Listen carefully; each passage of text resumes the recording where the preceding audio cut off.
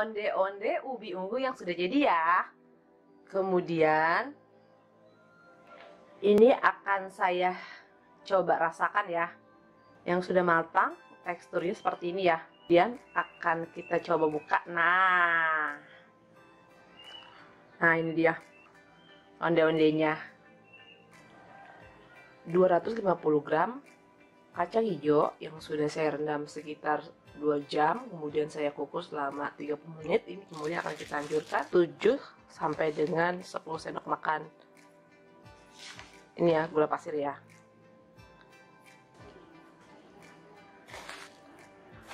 Tujuh. Seperempat sendok teh garam. Seperempat sendok teh pasta vanila. Ini kemudian kita hancurkan secara manual ya nah ini kaca hijau yang sudah saya hancurkan ya secara manual. Jadi kalian kalau tidak uh, susah menghancurkan secara manual itu bisa di blender ya dengan menggunakan chopper atau blender yang kecil.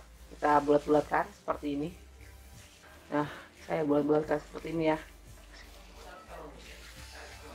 Seperti ini ya. Karena saya menggunakan kulit ya saya gunakan untuk saya itu juga haluskan jadi hasilnya agak warnanya agak hijau-hijau cuman kalau mungkin kalian kupes kulitnya itu warnanya akan putih ya. Ya kita lakukan ya sampai semua pas kaca hijaunya ini ini ya selesai kita bulat-bulatkan oke ini pasta kacang hijau yang sudah saya bulat-bulatkan ya. Jadi ini untuk isian onde-ondenya nanti bulatkan di awal ya Oke, kemudian ini sudah selesai saya buatkan dan saya akan membuat adonan onde-onde ubi ungunya. 220 gram ubi ungu yang sudah saya kukus dan saya hancurkan ya. Untuk menghancurkan ubi ungu ini kalian bisa menggunakan chopper atau bisa menggunakan ulekan sesuai dengan selera. Kemudian akan saya tambahkan 100 gram beras ketan putih 100 gramnya itu sama saja dengan 10 sendok makan munjung nah takaran per sendoknya seperti ini. Kita masukkan semuanya. 2 sendok makan tepung beras 40 gram gula pasir ya. Kalau kalian ingin manis bisa ditambahkan lagi. Seperempat sendok teh garam seperempat sendok teh pasta vanila bubuk. Kemudian kita aduk hingga tercampur rata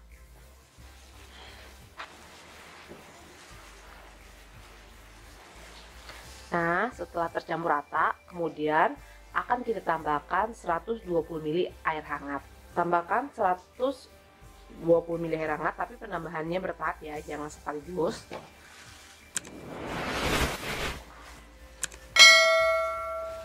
Tambahkan kembali.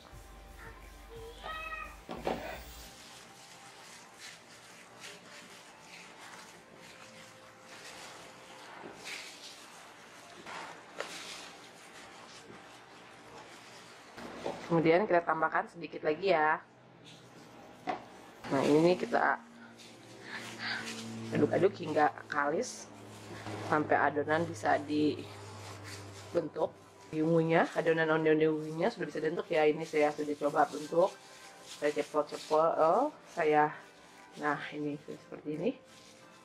Nah ini udah bisa kita cetak ya.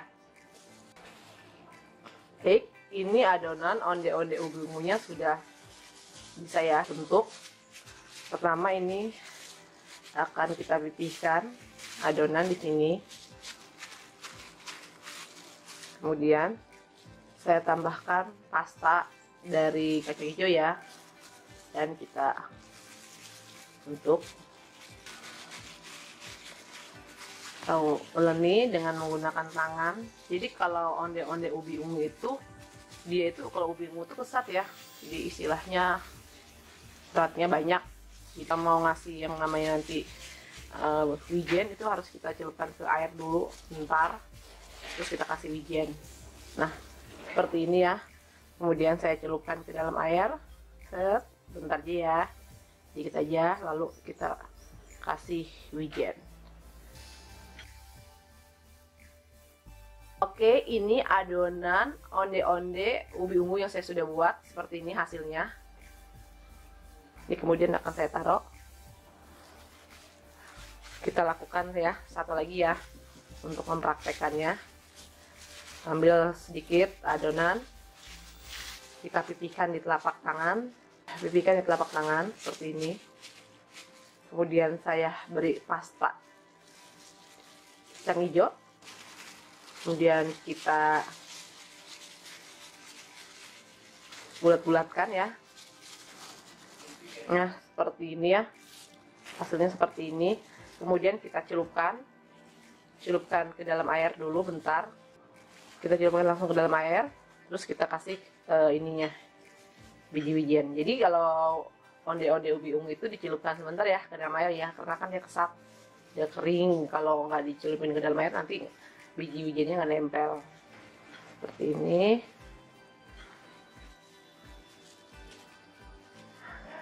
Atau seperti ini. Saya taruh di sini. Nah yuk kita lakukan hal yang sama untuk semua adonan ubi ungu ya sampai dengan selesai. Ini adonan onde-onde ubi ungu yang sudah jadi ya. Nah seperti ini hasilnya. Ini kemudian akan kita goreng. Baik ini tip menggoreng onde-onde ya biar tidak betus pertama taruh dulu onde-ondenya ya. Ini kita uh, goreng ini dengan menggunakan api yang kecil ya. Api kecil nanti ketika apinya sudah panas so apa tuh api kecilnya akan kita naikkan lagi menjadi api yang sedang tapi nggak boleh besar ya sedang aja ya. Tujuannya biar onde-ondenya nanti digoreng tidak terus. Nah ketika mulai mendidih ini kita naikin ya. Agak sedikit sedang apinya onde-onde ubi ungu yang sudah matang ini biasanya permukaannya akan keras ya. Nah, seperti ini udah mulai keras nih ini udah mulai matang. Nah ini kemudian akan saya angkat ya. Jadi untuk menggoreng sisa onde-onde yang selanjutnya ini uh, biarin gak betus. Ini uh, minyaknya harus kita dinginkan dulu ya sekitar 10 sampai dengan 15 menit. Setelah dingin baru kita akan goreng onde-onde ubi ungu sisanya. Nah, ini onde-onde ubi ungu yang sudah jadi ya. Oke, ini onde-onde ubi ungu yang sudah jadi ya. Kemudian ini akan saya coba rasakan ya. Nah, yang sudah matang teksturnya seperti ini ya. Kemudian akan kita coba buka. Nah, panas banget ya. Nah, tuh onde-ondenya. Kemudian ini akan saya coba rasakan ya seperti apa rasa onde-onde ubi ungunya ya. Bismillahirrohmanirrohim. Hmm. Nah, nih teksturnya seperti ini ya. Tadi saya sudah rasa enak banget ini pas banget, empuk, lembut. E, kaca hijaunya juga manis, gege. Buat onde-onde itu nggak harus pakai ketan tepung ketan saja, tapi bisa menggunakan ubi ungu, ubi kuning, labu kuning dan lain-lain. Ya silakan dikreasikan sesuai dengan kreativitas kalian masing-masing.